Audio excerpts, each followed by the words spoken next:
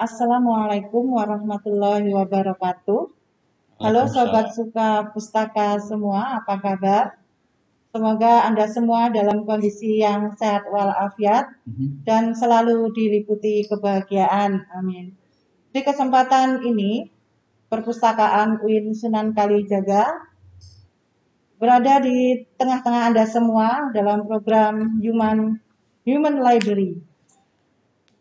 Kita semua tahu bahwa perpustakaan UIN Sunan Kalijaga selalu berupaya untuk eh, memenuhi kebutuhan informasi pemustaka khususnya sivitas akademika dengan menyediakan beragam informasi dalam format tercetak maupun digital atau elektronik. Human Library hadir untuk memberikan alternatif dan memperkaya sumber informasi yang penting dan berguna bagi eh, masyarakat. Dan Human Library ini berfokus pada kehadiran tokoh-tokoh atau person yang memiliki berbagai eh, kapasitas, memiliki kompetensi yang dimaksudkan untuk menjawab atau eh, merespon berbagai isu yang muncul di tengah masyarakat seperti misalnya pluralisme, kemudian isu tentang etnisitas, kemudian difabilitas, maupun isu agama. Nah, sehingga diharapkan eh, masyarakat dapat memperoleh eh, informasi yang update, yang valid, yang komprehensif, yang berasal dari eh, tokoh-tokoh yang terkait dengan isu tersebut. Dengan demikian diharapkan Human Library akan memperluas wawasan eh, individu atau masyarakat eh, member- eh, me- apa maksudnya menghindarkan masyarakat dari eh, kesalahpahaman, eh, menghindarkan masyarakat dari sikap prejudis dan saling curiga yang ini berpotensi merenggangkan hubungan antar individu dan antar kelompok di masyarakat. Nah, sobat suka pustaka yang berbahagia, di program Human Library kali ini kita akan membahas terkait isu pluralisme. Nah, di sini saya mengajak Anda untuk mencari tahu apa sebenarnya makna pluralisme itu dan bagaimana penerapannya atau prakteknya di tengah masyarakat kita yang majemuk ini.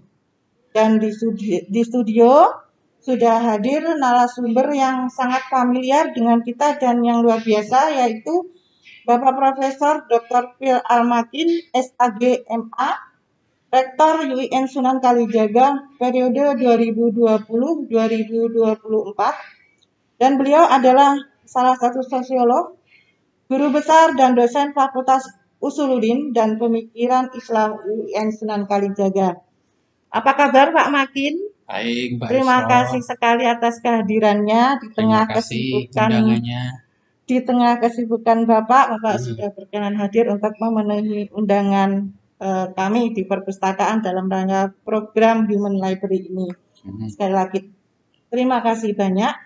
Jadi Pak Almatin eh, terkait eh, pluralisme ini, saya yakin eh, para pemustaka dan masyarakat UAS sudah banyak mendengar tentang istilah ini, namun saya yakin juga pemahaman mereka tentang hal ini tuh masih beragam gitu. Mhm. Nah, kita eh, di sini saya ingin Pak Makin bisa memberikan penjelasan yang itu mudah dipahami oleh masyarakat Mhm. sehingga kita memiliki pemahaman yang seragam begitu. Mhm. Apa yang dimaksud dengan pluralisme khususnya yang sekarang ini ada istilah pluralisme agama gitu kan ya. Nah, jadi bagaimana nih Pak Makin? Monggo Ya. silakan. Ya, terima kasih Mbak Silakan. Jadi pluralisme itu mungkin kata-kata asing ya. Mungkin bisa digunakan kata yang lebih Indonesia, misalnya keragaman Aman. atau bineka, bineka tunggal ika. Atau dalam bahasa Arabnya ta'adud ya, Tak ada. keberbagian, keanekaragaman. Ya. Jadi sesuatu yang sangat alami dan ada di sekitar kita. Tapi mungkin selama ini belum dijabarkan dalam bentuk ya. Jadi keragaman atau plurality atau dalam bahasa Inggrisnya diversity itu adalah realitas, kenyataan. Realitas itu dalam bahasa uh, Jermannya disebut das Sein. Das Sein itu ya kenyataan yang ada ini. Misalnya meja ini, ini kenyataan. Sederhana saja kita kita lihat meja ini. Meja ini plural. Kenapa plural? Karena tidak ada meja yang sama persis dengan ini. Kalau toh dicetak persis, pasti ada perbedaannya. Entah seratnya, kayunya, mereknya, tahunnya, dan mungkin dalam perjalanannya meja itu akan tergores-gores. Nah, di situ bisa dilihat bahwa meja ini plural, meja ini bermacam-macam, berbeda-beda. Ini meja. Nah, sekarang kalau kita kembalikan kepada manusia, manusia itu perlu. Buktinya saya dan Mbak Isro Piah. Isro Yanti, Pak. Isro Yanti. Ini sama-sama manusianya, tetapi berbeda. Bedanya apa? Saya laki-laki, Mbak Isro Yanti perempuan. Saya lahir di Jawa Timur, Mbak Isro Yanti lahir di Balikpapan. Di Balikpapan. Bahasa ibunya sudah berbeda, walaupun kita sama-sama berbahasa Indonesia. Pengalamannya juga sudah berbeda. Dulu waktu SD, di SD atau di madrasah? SD. Di SD. Saya di saya di madrasah swasta. Ini udah berbeda lagi. Ya. Uh, belum berbicara tentang uh, nikah anaknya, latar belakangnya ya. S1 di UIN Sunan Kalijaga. Uh, adab anu perbandingan agama usuludin. Perbandingan agama. Saya juga usuludin, tapi saya tafsir. Nah, ini beda lagi. Berbeda lagi. Ya belum tanya pacarnya dulu berapa kan beda lagi ya. Pacarnya dulu berapa? Mau nggak percaya kalau nggak punya kan? Nah, saya berapa? Belum suaminya. Nah, saya punya istri ya. Bagaimana mengatur rumah tangganya? Selera kendaraan, selera makan. Yang disukai makanan apa? Apa ya bakso. Bakso. Kebetulan saya suka bakso yang agak bulat. Nah, sini mungkin agak kenceng gitu baksonya ya. Jadi itu menunjukkan bahwa walaupun sama-sama suka bakso belum tentu sama persis. Nah, inilah yang disebut keragaman. Jadi keragaman ini alami ada di dalam kehidupan ini. Inna ja'alnakum syu'uba wa qabaila lita'aruf jadi ada bersuku-suku, ada berbangsa-bangsa, ini artinya ada beretnis-etnis, ada berbudaya-budaya, berseni-seni yang berbeda-beda, dan inilah realitas. Jadi manusia, sebetulnya manusia itu kenapa beragam? Karena alam ini juga beragam. Kita pergi ke halaman perpustakaan, sudah beragam. Ada berapa pohon, dalam satu pohon yang sama ada berapa binatang, ada berapa insek, ada berapa burung, ada berapa semut. Nah, itu sudah menunjukkan keragaman. Dan masing-masing pohon ini unik, tidak sama dengan pohon yang lain, walaupun sama-sama pohon akasianya. Misalnya, di depan perusahaan kita ada pohon akasia. Ya. Kemudian di kantor LP2M ada pohon sawo kecil. Dan di, di rektorat ada pohon uh, beringin. Ya. Dan walaupun sama-sama beringin tentu berbeda. Inilah kenyataan yang harus diterima bahwa kehidupan itu penuh dengan keragaman, manusia itu beragam, makhluk itu beragam, flora itu beragam, fauna itu beragam. Dan ini yang harus dipahami dan harus disadari bahwa kita masing-masing itu berbeda. Ya, menarik sekali Pak penjelasannya dan saya rasa ini seluruh pemustaka ini sobat-sobat pustaka mudah sekali apa ya memahami apa yang disampaikan Pak Makin bahwa kita yeah, itu yeah. semuanya adalah plural sebetulnya hmm, ya hmm. dalam hidup ini penuh keragaman. Hmm, hmm. Uh, ini ada yang saya ingin tanyakan lagi hmm, Pak. Hmm. Uh, di tengah masyarakat yang plural dan majemuk ini, kadangkala kita men menjumpai sikap-sikap intoleransi gitu Pak hmm. karena perbedaan pandangan dan sebagainya hmm. sehingga ini memicu ketegangan di antara hmm. individu atau kelompok masyarakat. Nah ini menurut Bapak ini upaya konkret apa yang diperlukan untuk uh, menanamkan pluralisme di tengah masyarakat agar agar timbul sikap toleransi hmm. dan saling menghargai khususnya antar penganut agama atau yang berbeda keyakinan gitu Pak. Ya. Jadi kata-kata pluralisme, kebinekaan, keragaman itu mengandung tiga makna. Satu, saya tadi menceritakan realitas, kenyataan, dasain ya, maujud dalam bahasa Arab. Itu berbeda, itu beragam. kenyataan itu beragam. Yang kedua, menyangkut masalah sikap. Sikap. Jadi kalau kenyataan itu sudah beragam, sikap kita harus menghargai keragaman. Iya. Jadi ini harus ditingkatkan. Satu, kita sadari kita beragam. Dua, adalah sikap. Agama di Indonesia itu ada enam. Ada enam. Ini sudah beragam. Dan masing-masing agama itu punya kelompok. Di Islam kan ada dua organisasi besar, atau ulama dan Muhammadiyah. Betul, ya. Dan di dalam organisasi besar itu masih ada kelompok lagi, sub kelompok namanya. Dan di dalam kelompok yang kecil masih terbagi lagi beberapa kelompok lagi. Terutama kalau menjelang pemilu. Ya, Nah, pilihan lurahnya, pilihan presidennya, pilihan DPR-nya berbeda, pilihan partainya berbeda. Dan ini menciptakan keragaman lagi. Nah, jadi satu kenyataan beragam, yang kedua sikap kita bagaimana? Sikap kita harus menghargai keragaman. Jadi kalau ada orang berbeda, apa yang harus kita lakukan? Menghargai. Betul. Jangan sampai menyalahkan, jangan sampai menghakimi, jangan sampai menyudutkan, dan jangan pernah bercita-cita menyamakan. Ya, Wah, saya kan dari UIN, Hmm. maka seluruh mahasiswa harus jadi mahasiswa UIN Sunan Kalijaga. Ya enggak bisa. Wong UIN Sunan Kalijaga kuotanya cuma 4.500, yang daftar 150 ribu. Anda bisa dipaksa. Ya. Semua orang harus menyukai bakso, ya enggak bisa.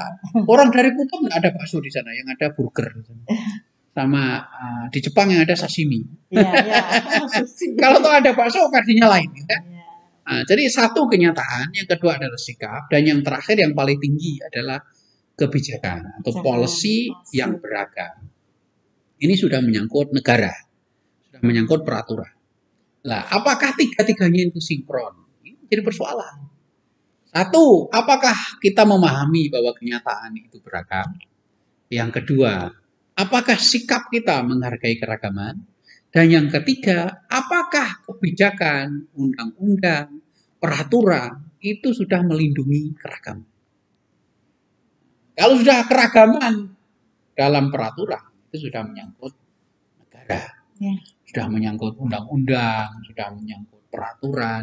Apakah betul UIN Sunan Kalijaga ini secara peraturan itu menghargai orang yang beda agama, orang yang beda madhab, orang yang beda organisasi, orang yang beda suku, orang yang beda bahasa, orang yang beda latar belakang pendidikan, dan yang paling sensitif perbedaan dua, ekonomi dan politik. ya, ya, ya. Itu yang mudah menimbulkan gesekan. Mudah menimbulkan gesekan. Sulit sekali. mudah tapi kelihatannya Mudah. agak sulit. Enggak, sangat mudah. Oh, mudah ya. Yang penting kita berusaha. itu. Nah, Niatnya. paling nggak sikap, sikap. Ya. Kalau peraturan kan itu sudah menyangkut banyak. Jadi ini mungkin ada pertanyaan lain lagi yang terkait ini Hmm. Pak. Eh, seberapa besar peran para tokoh masyarakat eh, Hmm. seperti tokoh agama Hmm. dan para pendidik dalam upaya internalisasi pluralisme di tengah masyarakat supaya Hmm. terwujud masyarakat yang toleran dan inklusif. Hmm. Sebaiknya jangan gunakan kata pluralisme, Oh gitu. gunakan kata keragaman Keragaman. atau kebinekaan atau keanekaragaman atau kepelbagaian atau kebermacam-macaman. Pluralisme itu kata-kata asing gitu ya, Ya. dan mungkin orang sudah banyak yang anti. Iya, iya, iya. Tapi kalau bermacam-macam, berbagai keanekaragaman, bineka keragaman itu lebih lebih bisa diterima dan Terima ya. mudah dipahami. Ya. Ya para tokoh kita sudah banyak berusaha di UIN Sunan Kalijaga ya Prof. Ali lah. Prof. Mukti Ali dengan usaha dialog antaragama yang diteruskan oleh Prof. Amin Abdullah dan Prof. Mahasin Ya. dan sekian banyak murid-muridnya. Ya, Ya, di tingkat pendidikan di tinggi. tingkat menurut di usuluddin, di syariah ya, ah, di adab, di tarbiyah, bahkan hampir semua pidato guru besar kita di UIN Sunan Kalijaga ini semuanya program. Ya. Kan kita sudah pengukuhan berkali-kali gitu ya. Nah, saya setiap pengukuhan saya berkomentar semuanya program guru besar kita. Ya, betul. Cuman kalau kadang kita melihat di tingkat bawah itu, Pak. Di Nah. tingkat pendidikan bawah. Nah, ini kalau Bapak lihat apakah mereka sudah berusaha untuk itu menanamkan sikap tentang keberagaman ini, Pak? Kalau di level UIN Sunan Kalijaga, saya jawab dengan tegas sudah. Sudah, ya. Tapi di luar kampus ini tidak ada jaminan. di luar kampus itu tidak jaminan. Karena kalau sudah menyangkut, polisi itu tadi ya, ya. iya, kalau polisi bukan wewenang kita. Ya, Eh, kampus kita nggak bisa mengeluarkan aturan yang berlaku bagi seluruh rakyat Indonesia. kampus kita hanya memperlakukan kepada Mahasiswa, sudah, ya. Ya, kalau di masyarakat umum, kalau sudah menyangkut politik dan ekonomi, itu sudah sulit itu. Yang bisa mengatur adalah hukum, Negara, ya, Pak, ya. negara. Saya tidak bisa. Yang bisa saya ya cuma promosi aja di podcast Tapi ini. kalau Pak- pandangan Bapak bagaimana? Apakah sekarang ini sudah mulai upaya Oh, ya meningkat, meningkat, jauh. pendidikan menengah bawah? Ya, meningkat, walaupun belum signifikan. Seberapapun meningkatnya kita harus syukuri. Ya. Seberapapun lambatnya kita harus anggap itu berjalan. Sesedikit mungkin ya harus kita anggap itu ada peningkatan. Ya. harus diapresiasi. Ya. Ya meningkat. Kita semua sadar bahwa agama itu ada enam jumlahnya. Kita tidak boleh memaksa orang untuk konversi ke agama lain. Ya. Kita semua sadar di dalam agama juga ada banyak kelompok. Kita nggak bisa memaksakan kehendak, itu ya. Dan di level nasional kita sudah berdialog secara demokratis, ya. Sudah Iya. saling mendengar, gitu ya. Iya, iya. Eh, kemudian ini Pak, ini di tingkat MUI Mbak Pak, ini Hmm. kita kembali lagi ke istilah pluralisme karena Hmm. nyatanya ada istilah itu di situ ya dalam. Wah, jangan gunakan itu. Nah, ya, maksudnya kenyataan itu tercantum di Hmm. munasnya MUI itu Hmm. tahun 2005 Hmm. yang itu Hmm. bertentangan dengan yang kita bicarakan ini. Nah, itu menurut pandangan Bapak gimana itu? Ya, pemahaman keragaman ini memang bertahap. Itu kan Ya. tahun 80 ya. Ya 2005 ini. Oh, 2005. Ya munas eh, ini Ah, nomor 7 ya mungkin yang dimaksud itu keragaman yang berbeda. Jadi setiap orang kan boleh membayangkan apa itu yang disebut keragaman. Mungkin yang dia maksud, ah, yang lembaga maksud, Ya. ini berbeda dengan yang kita bicarakan. Ya. Ya, Jadi yang kita bicarakan kan sesuatu yang real, yang nyata, kita hadapi sehari-hari. Mungkin itu yang dimaksud adalah talfik mungkin. Talfik itu pencampur aduan ya, atau sinkretik. Hmm. Nah, sinkretik. Ah, itu berbeda lagi. itu berbeda lagi. Jadi kita berbicara dengan bahasa atau kata atau mufrodat atau vocabulary yang sama tapi maksudnya berbeda. Hmm. Nah, kita tadi kan berbicara tentang kehidupan. Dari pihak lembaga sendiri Pak, apa mungkin bisa memberikan masukan ke MUI gitu terkait istilah mungkin sebaiknya MUI menggunakan istilah yang lebih masyarakat gitu mungkin nggak sih Pak itu?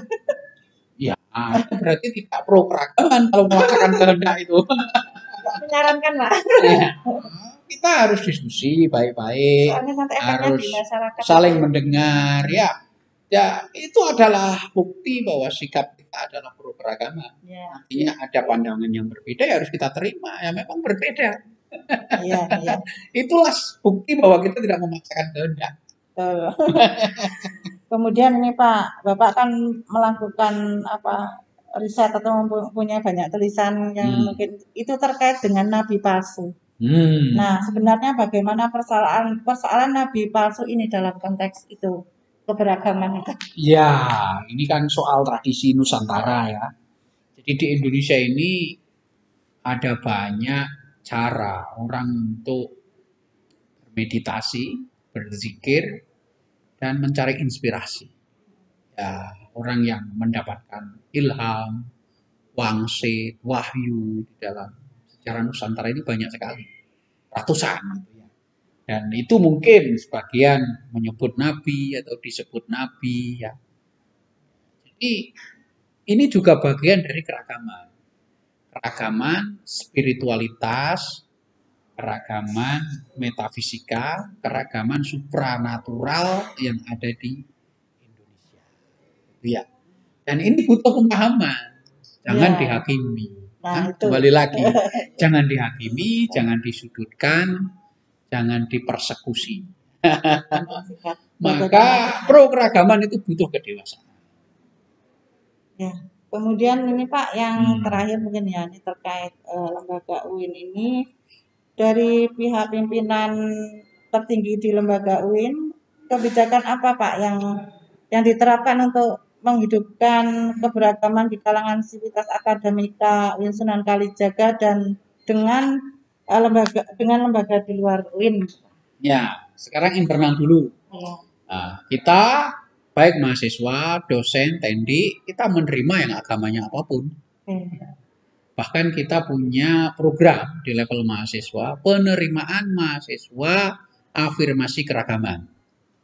Kita akan memberi afirmasi, memberi dorongan supaya diterima mahasiswa dari eh, suku terpencil, daerah terluar, tertinggal yang 3T itu dan eh, kelompok kelompok yang eh, patut dibantu atau minoritas ya bahasa lainnya.